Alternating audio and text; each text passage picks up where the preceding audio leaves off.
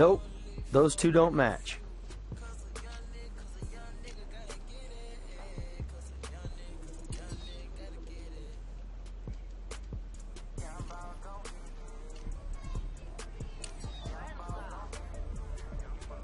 Nope, those two don't match.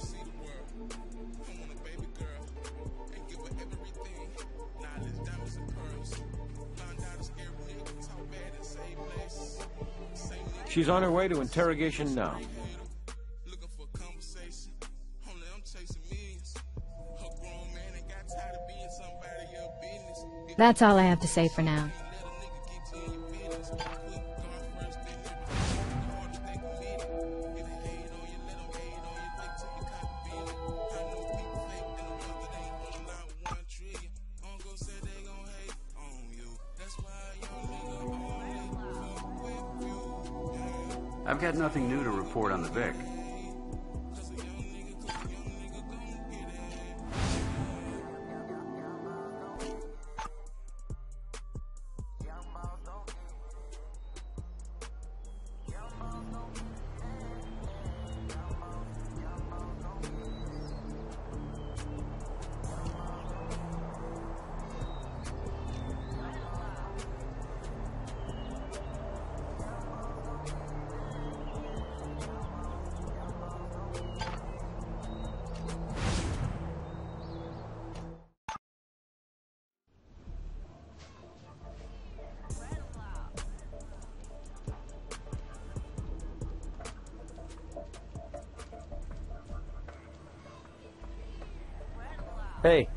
Looking for a hint?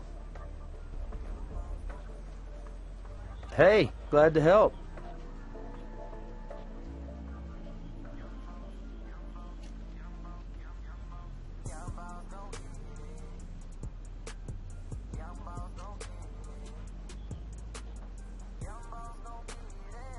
Check your case file for a hint.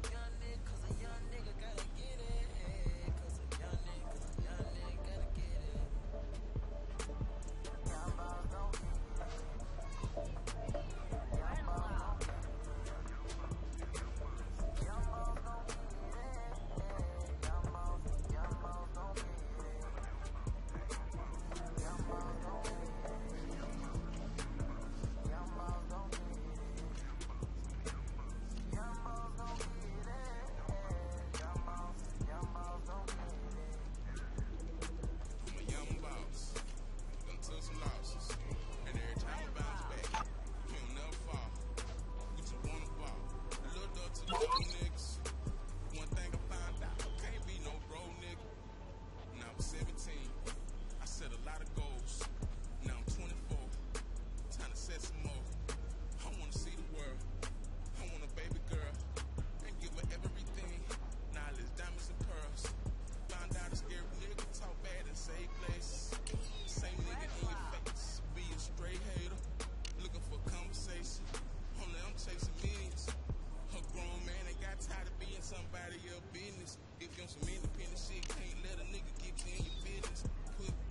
Nope, those two don't match. Nope, those two don't match.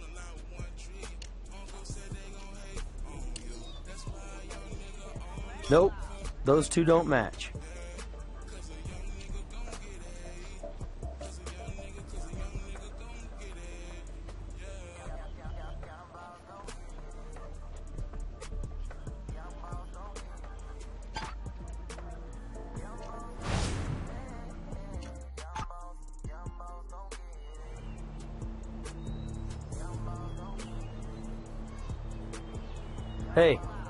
for a hint?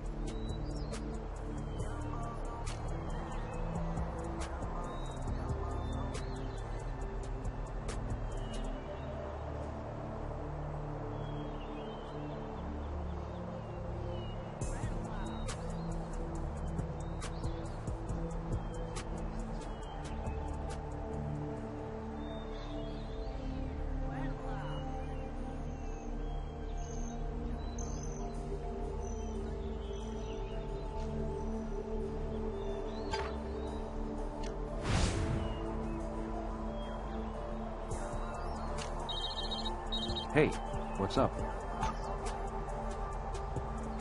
He's on his way to interrogation now.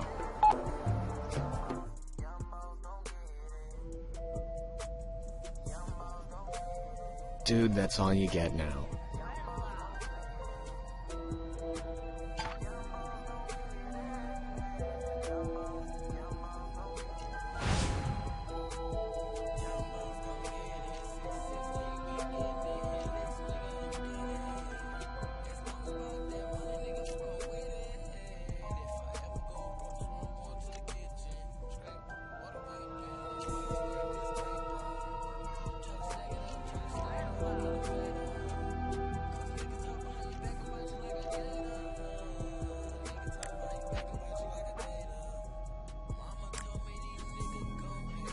the right tool for this.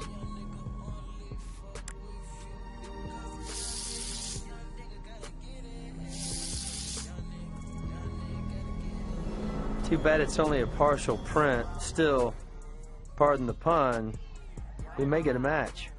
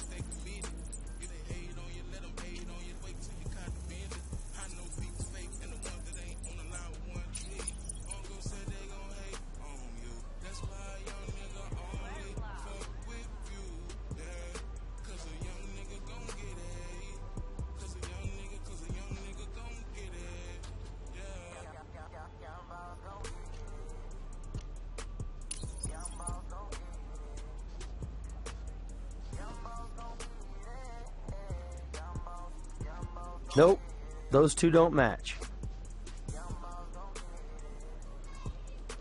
Nope, those two don't match. Nope, those two don't match.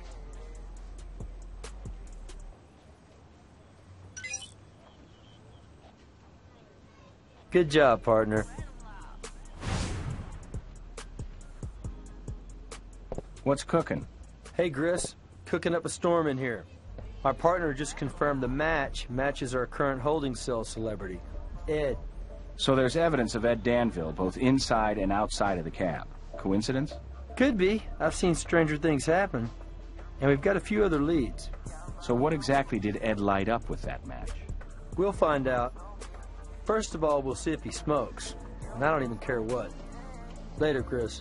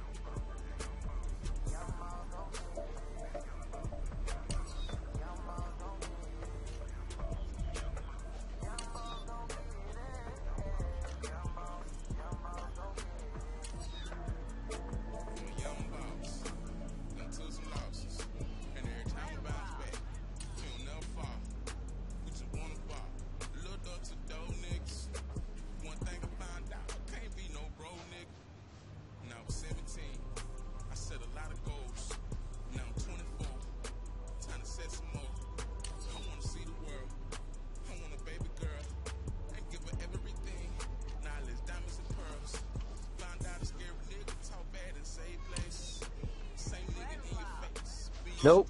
Those two don't match.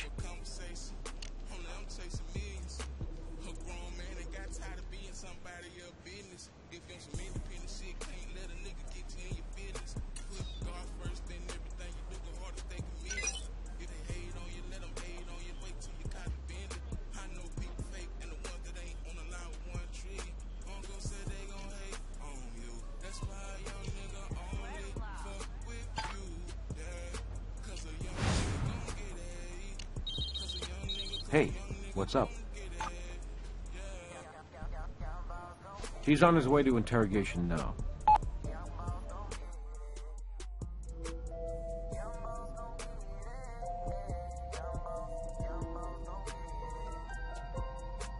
Who and where? Slow down, my brother. Take a step back before you go blaming that on me.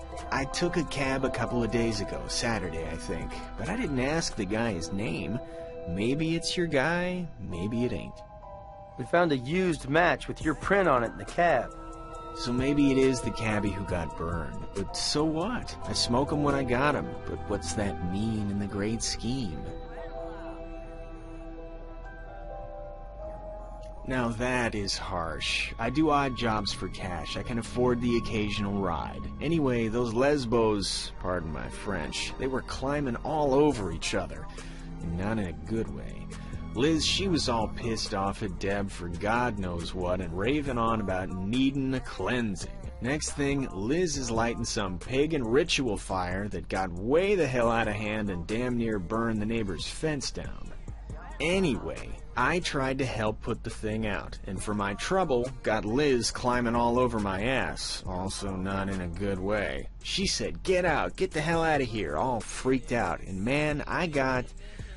This cab was on the corner, and I just grabbed it and told the cabbie, Stop at the nearest bar. The Random Room, it's called. Oh, round four, maybe five. Closer to five, I think. When do you think? When Miss Pyromaniac 1999's fire got out of control. Broad is brutal, man. She is out there. I can spare a few for the cause. Hey, like I said, you don't have to have a 9 to 5 to be a good citizen. But if you find burn patches, remember, I was playing Citizens Fire Brigade for that hot les.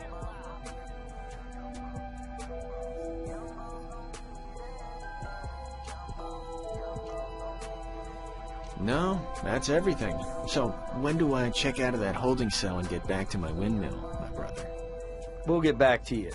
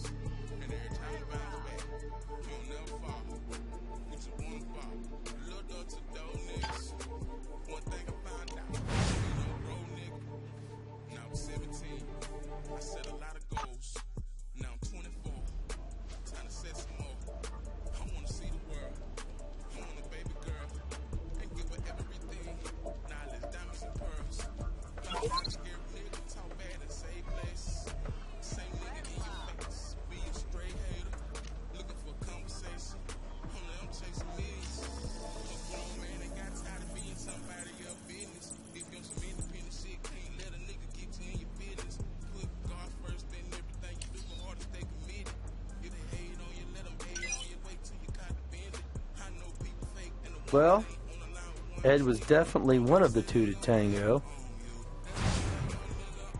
Hey, Gris, check this out. Looks like Liz and Ed generated some heat in the old fire temple. The fire goddess consummated with Mr. Free as the Wind? An elemental attraction, so the evidence says. Wonder who initiated it. Well, wouldn't you say that air stokes fire, Nick? Yeah, I get it. Let's go, partner.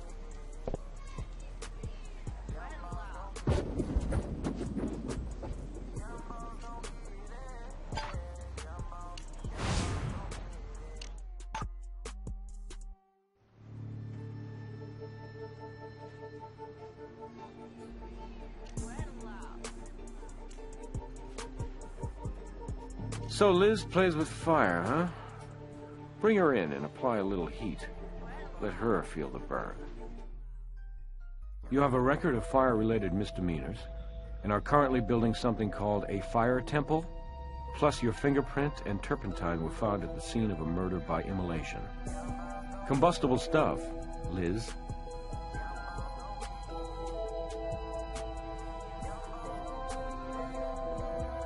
For you, this is all about science, right?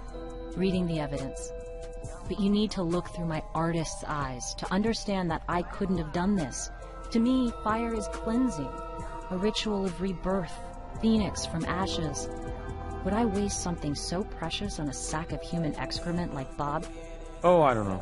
Sacks of human excrement rate high on my list of things needing cleansing. You knew Bob was a gay basher and was harassing Deborah. You were taking steps to protect your lover.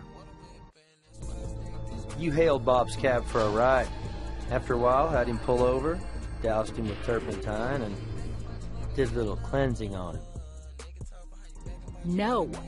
I confronted him about his harassment, yes, but he's the one who got violent. He threw me out of his cab. Must have been drunk out of his mind. Guys, get serious. We're artists, gentle people. We don't destroy, we create. Yeah, right. With fire. Didn't I say 6? No, wait. We drove for a while. Maybe closer to 6.30? So when did things first uh, heat up between you and Ed, Liz? Oh, well, that's just nonsense. You know my orientation. DNA doesn't lie, Liz. We found a used condom used by Ed and you. Fire Temple gate swing both ways? I think you talked your new lover into helping you do more than just create art. Who knows? Maybe he gets a kick out of setting fires too. Anyway, you brought the turpentine and the matches, and Ed doused Bob with the turpentine and lit the fire. And you're supposed to be a scientist? You're adding two and two and getting 48. Okay, okay, so Ed and I got hot and heavy one night. Too many stars and too much wine, and Deborah caught us at it. And she didn't know that I was by, and she just went off the deep end. I've been struggling to put the pieces back together ever since. Which is why I kicked Mr. Freeborn out on his neo-hippie ass, okay? Ed's a user. A manipulative jerk who preaches freedom and then does everything he can to control you. I'm onto him now, but even when I wasn't, I wouldn't commit... commit murder. My god, I'm an artist, not an arsonist. I've said all I'm going to say for now.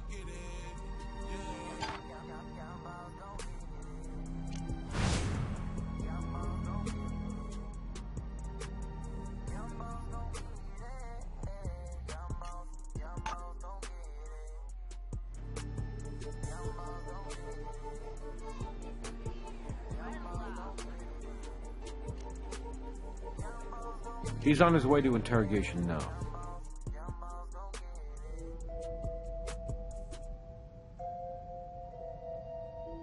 What happened?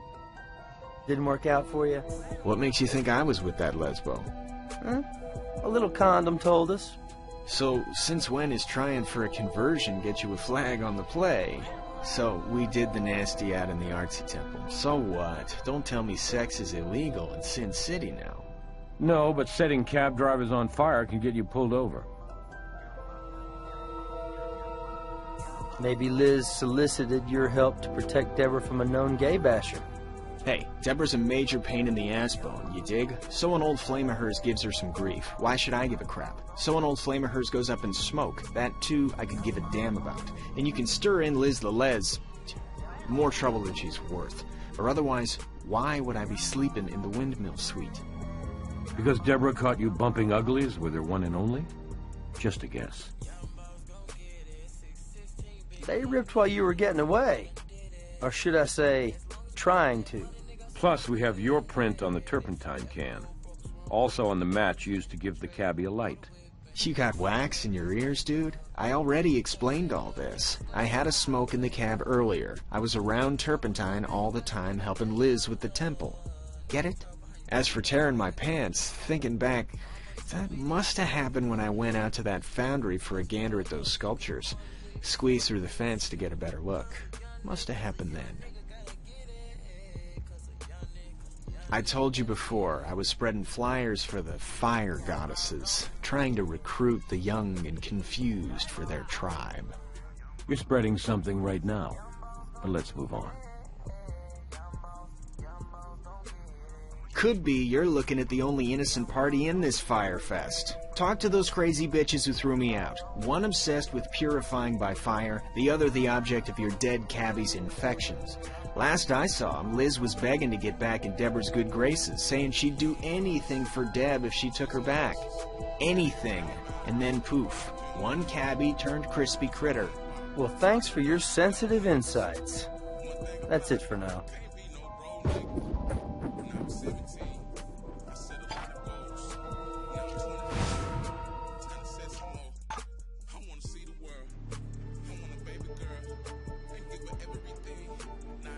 I already gave it to Nick. Meet him out at the miniature golf course. Oh, and Ed's story about taking a cab to the bar on Saturday? Didn't check out. Good thinking, nailing him on the specifics during questioning. Cab company has no record of a fare there on that day.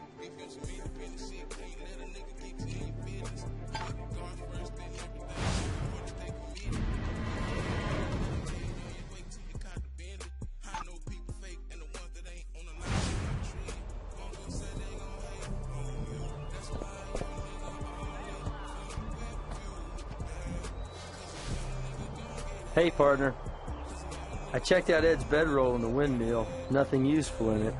If he had any other clothes, he got rid of them.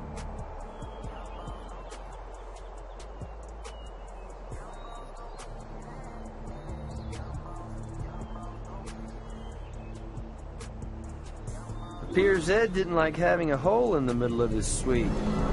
Stuffed something in there.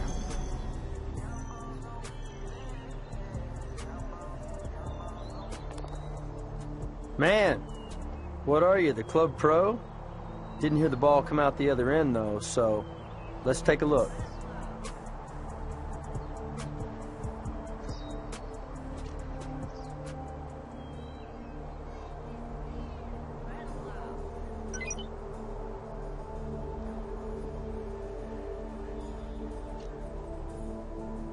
I can see something stuffed in there. One more ball ought to do the trick.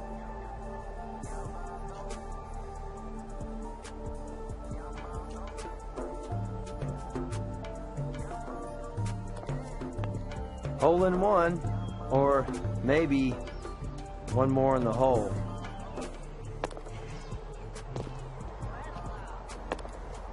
If they had MVPs in miniature golf, you'd be it, Slick. That's a tightly rolled, rubber banded wad of money that was stuffed down there in Ed's little bank.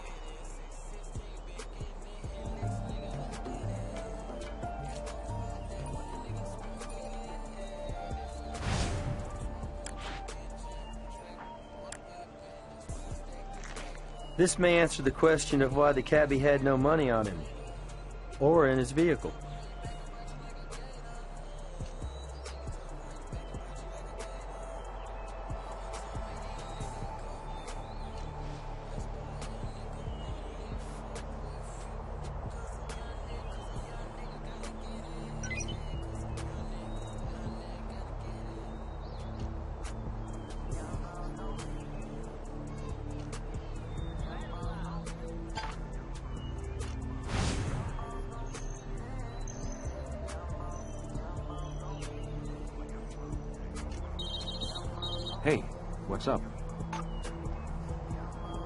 He's on his way to interrogation now.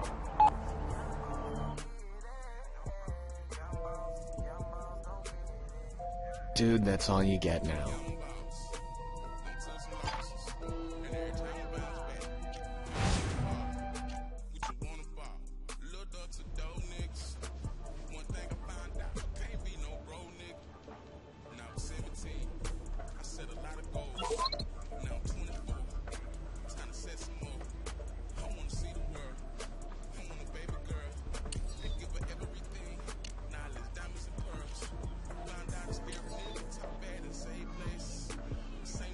This puts Ed at the crime scene.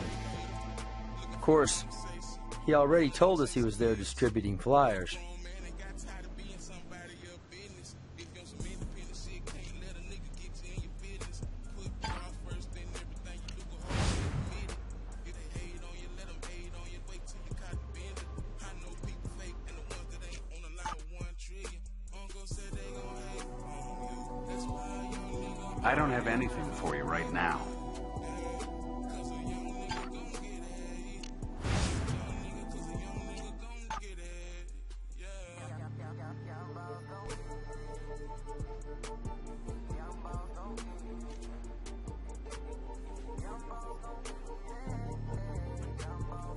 He's on his way to interrogation now.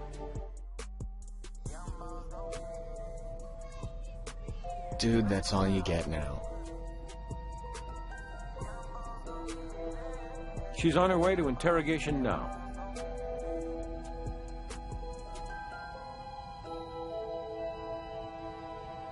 What relationship? He was just this freak passing through who stopped long enough to help us with our art project and, you know, put up flyers and stuff. So you didn't know things had gotten hot and heavy between them? Behind your back? You make it sound like, like, like an affair. All it was was a night where things got out of hand, is all. Liz and that, that freak got together one time. One time. He got her drunk and laid a smooth line on her, and, and, anyway, that happened Saturday night. And I saw them together. And Liz and me, we had this big knockdown dragout. Not physical, just verbal, but a big fight, okay? And she promised me it was just this one time. It would never ever happen again. She went and set this bonfire to show the fling was flung and she would cleanse herself and our space of the creep. And like I said, she was kind of drunk. Fire about got out of control. Anyway, Ed crawls out of his hole somewhere and tries to pitch in. With stopping the fire, Liz starts screaming at him and he books it. Never came back. She was crying and I was crying. Not that any of this is any of your business. Well, we got the fire out at least. Neighbor's fence a little worse for the wear. That's all I have to say for now. She's on her way to interrogation now. I've said all I'm going to say for now.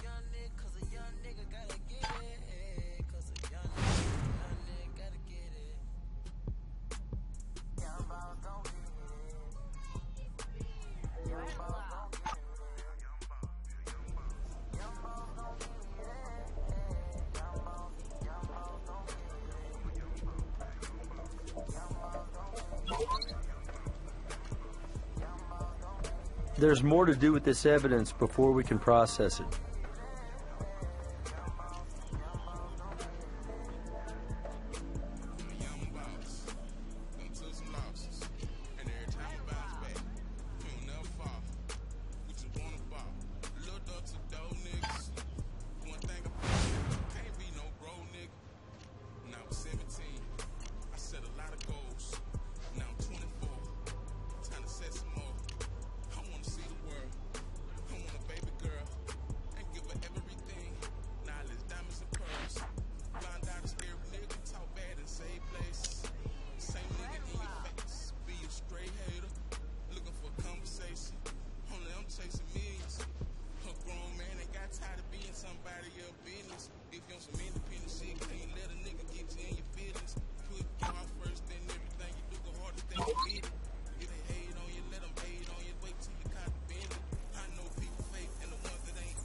Ah, our dirty money was drenched in turpentine, just like the cabbie.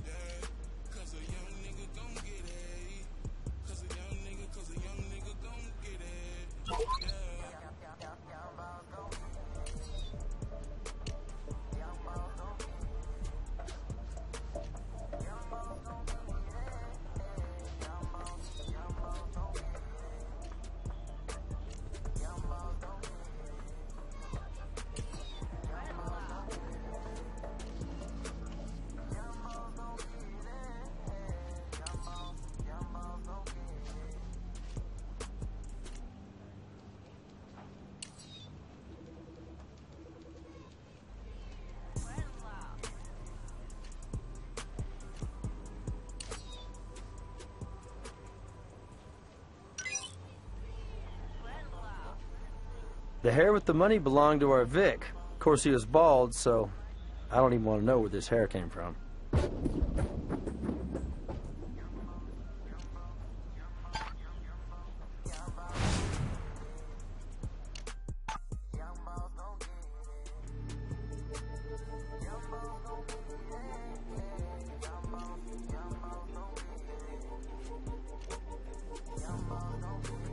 Better golf score than I've seen in a while.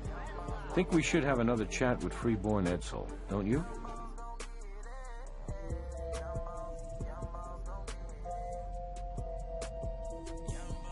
Funny strange or funny hysterical?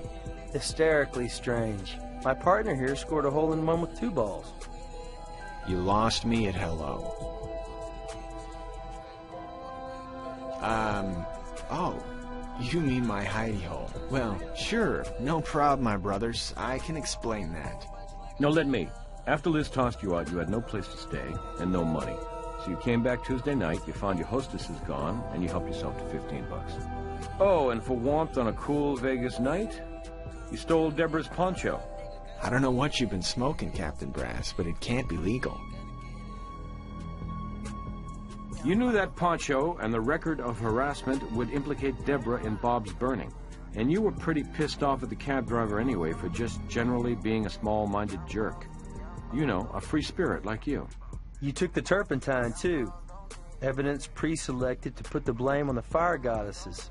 Settling a grudge or two, even as you built your bankroll from nothing to something. It was easy to find Bob's cab to hail. Hell, he kept driving up and down in front of Deborah's. You told the cabbie to take you to the foundry yard. When you got there, you doused him with turpentine and threatened to set him on fire if he didn't give up his cash. He gave you the money, but you lit him up anyway. The flash fire singed your hairs and the poncho. Once out of the cab, you ditched the turpentine can and slid through the fence. In a hurry to get away, you tore your jeans. Then you ditched your clothes and shoes and headed back to Deborah's where you planted the poncho in the temple. So you got his money, but you really wanted to get even with the women. And maybe with Bob himself. You got it wrong. I doused the guy, okay, and he handed over his money, but I didn't want it. I was just trying to scare him out of being such a bastard to Deborah, right? I lit a match, but I was just trying to scare him. He went for my hand and the match dropped and we both got burned. And you just grabbed the money to save it from the flames. Be cool! It could have happened that way, right? And if it didn't, if I did do it the way you say, then all I really did was rid this beautiful planet of one ugly bigot. And you should give me a medal, not put my ass away. Maybe I was sticking up for those fire goddesses and their lifestyle. And mine. All we really wanted to do was live free, to spread the love.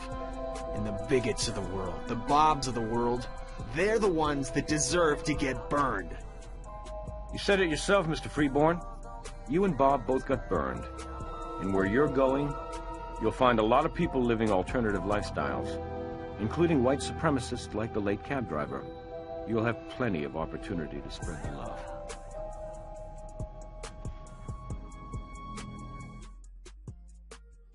Well, that's one dude I don't mind roasting in the can. All this talk of heat, though, I'm ready for a soda. You want one? I'll meet you in the conference room right after Grissom gives you his eval.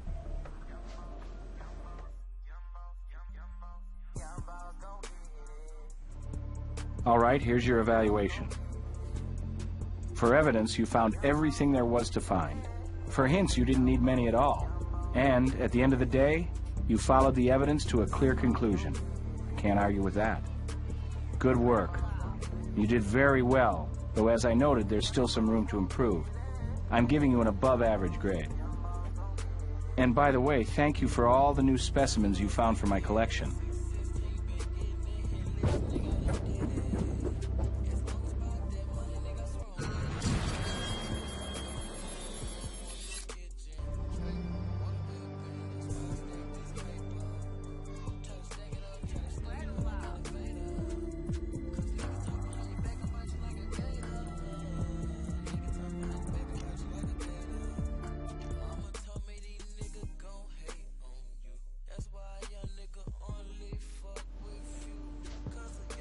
Hey, I understand you came through with flying colors on that last case. Can't guarantee you anything so flashy, but we do have a victim. Assault and battery, en route to the hospital.